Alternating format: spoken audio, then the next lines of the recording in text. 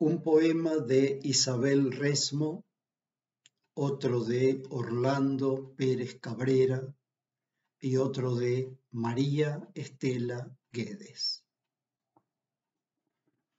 de Isabel Resmo. Ocultaré a la luna mis garras. Dejaré de mirar la órbita maldita de un latido. No seré nada, ni el polvo ni el aire resentido por centímetros debajo de un faro. Ni la acequia vacía ocupada por mis zapatos. Apenas un minúsculo poder abducida por una amapola.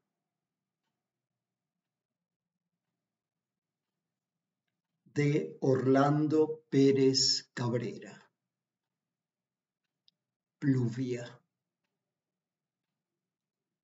Esta tarde llueve como nunca y no tengo ganas de vivir corazón.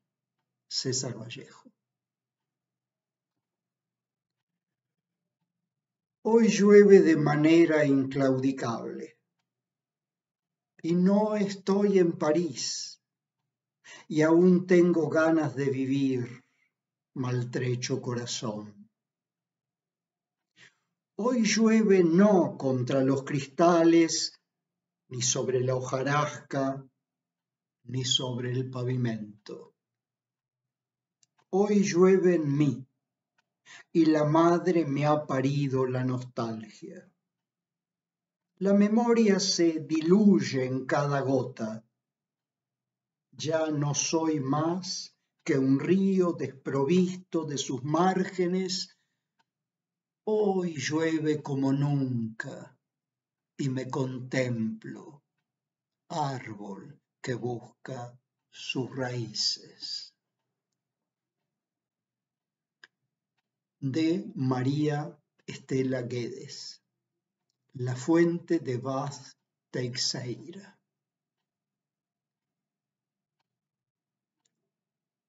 Guinea Portuguesa, mapa de islas, archipiélago de recuerdos. ¿La fuente de Bath de Teixeira aún existe? Escondida en la floresta, convertida en ruinas, las piedras transportadas en navíos desde Portugal, hoy son escombros, transformados en vitrales celestes. Como catedral de la sabana, las cintas verdes y amarillas de loros dejan filtrar la luz a través de las ramas de los árboles. Partían cual cascada, orgullosos de sus libreas nupciales arrugadas. En la fuente, como en la iglesia, donde tú te desvanecías cuando, cada mañana de domingo, asistías en ayuno a misa sentías la revelación del semántico aliento divino.